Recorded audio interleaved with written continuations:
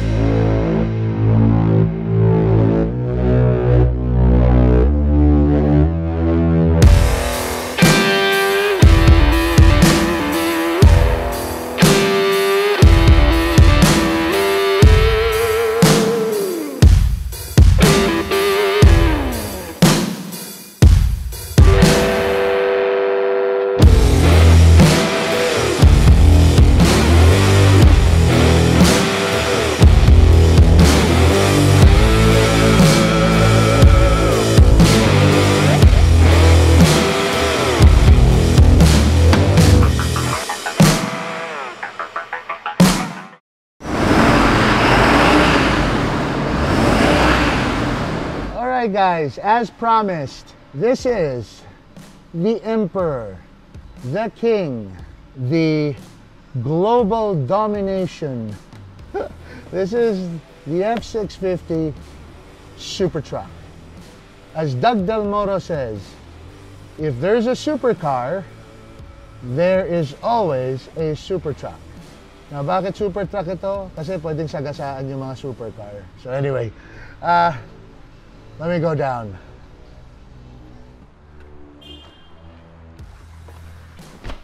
Ah! So this is probably the most ridiculously sized pickup truck in the planet or the universe for what I can recall. It's the Ford F650 Super Duty Super Truck. Now, pag binili nyo sa Ford to guys, kung umorder kayo sa Ford, they don't come like this. It comes in a cab, hindi ganyan ang pintura, mukha siya talagang truck na panghila ng trailer. So, we had this truck customized by companies that customize super trucks. So, for those who have no knowledge yet of the product line of Ford.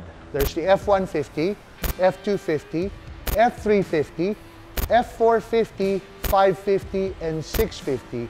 And there's an F-750.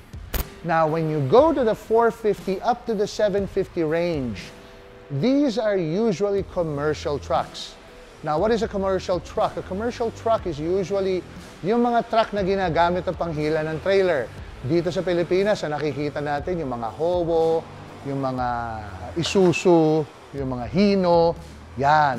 Yan ang mga katumbas nito, no? Although this is in a smaller scale, but this boasts a 6.7 liter Ford Power Stroke V8 diesel engine. What, what does that mean? It has 330 horsepower and 700 foot-pounds of torque. Okay? Now, like I've always told you guys, ang panghila, parang sa bulletproof, hindi pinag-uusapan ng horsepower. Ang pinag-uusapan natin ng torque because torque is panghila. So kung mabigat ang sasakyan, malakas ang torque mo, baliwala yan sa kotse, kayang-kaya ng makina. Now, this truck is so special because it has these chrome tanks, ano? Now, these chrome tanks are not just for display. These are actually the fuel tanks ng sasakyan. So they have two fuel tanks. I'm not sure kung ilang liters or ilang gallons ang ano nito, pero makikita nyo sa video, ipa-flash ni Jorlan ito dahil hindi na, wala tayong information ngayon, ano? So, look at these, ilan ba to? 1, 2, 3, 4, 5, 6, 7, 8, 9, 10 lugs. Okay? So, hindi ka makakapunta ng Black Rhino para bumili ng mugs nito. They have 10 lugs. These are special for these types of heavy vehicles. Okay? Now, you go to the front. It has a massive front grille. Now, the massive front grille is hindi lang pamporma. If you notice the inside, check out the radiator of this beast. Has a radiator and an intercooler in the bottom since it's a diesel engine. You have the Ford F650 badging, Super Duty badging. You have the 6.7 liter Power Stroke Turbo Diesel badging as well. Dual cab, four door, leather seats,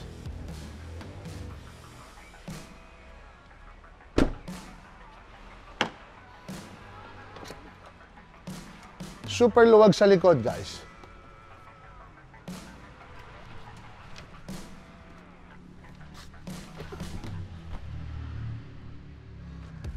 There's a reason for all these things, ano? This is para makaakyat kayo. So, if you look, ang dami niyang hawakan. May hawakan dito, may hawakan dito, may hawakan ka rin dito. So, let's go back down. Now, this is a standard 8-foot bed.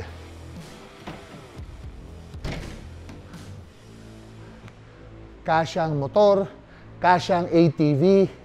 Imagine guys, ang kakarga nyo rito yung ATV nyo. Ngayon sa mga nagsasabi, paano may aakyat dyan? Pwede kayo gumawa ng rampa. Tapos itulak nyo na lang. No? So this is, this is so awesome. If you notice, we have these huge mud flaps. Why do we have huge mud flaps? Because we have dual tires. So this is what you call a dually. Know, it's a dually. And it has all the bells and whistles. Now, mapapansin nyo, yung gas tank, pag binuksan nyo, walang laman. Kasi guys, ang tangke niya nandito na. So,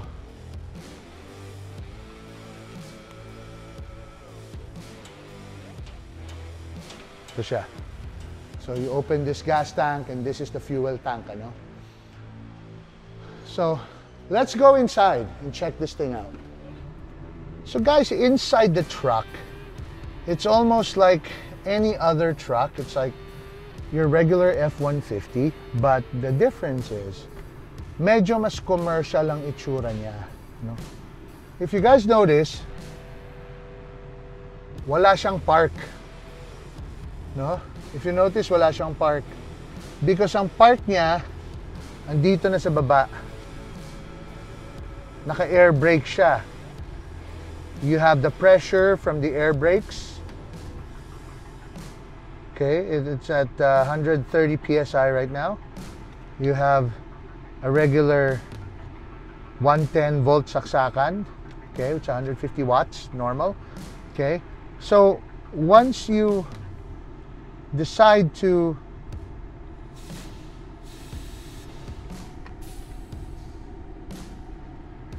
engage the car, you press this yellow button and put it on drive. Now, when you are parking, you put it on neutral and then you pull this little thing here para mag-engage yung air brakes. Now, this car has a six-link air drive suspension and it's so comfortable to drive.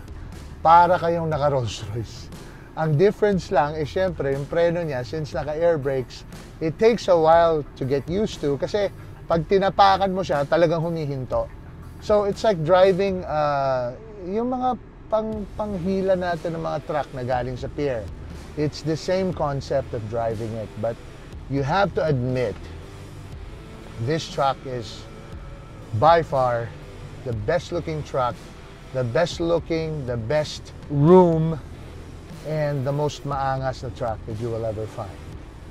And we literally designed it that way. We had it painted two-tone to give it a little softer look. So this is the F650 uh, Super Duty. This vehicle has been sold, actually it sold the next day after I started reviewing it on uh, Facebook Live. But we do have other units coming so if you guys are looking for a truck like this, naghahanap po kayo at uh, you want to reward yourself, especially yung mga contractors po natin, yung mga, yung mga may farm uh, sa mga probinsya, even sa Manila, if you want something like this and you live in a place na kaya mag-accommodate ng parking, this is an awesome truck to have. Why? Because tumatagal ito. Sa US, most of these trucks go for 300, 400,000 miles with no issues at all. So we have service, we have people that can fix this. It's not even an issue. So if you guys are looking for an awesome truck, awesome deals, and awesome cars, please don't forget to give me a call. I'm King Panda, Luxury Cars Manila at 0917-463-0077 or 0998 933 3883. All right, guys, thank you very much. Hope you enjoyed. This is the Ford F650 Super Truck.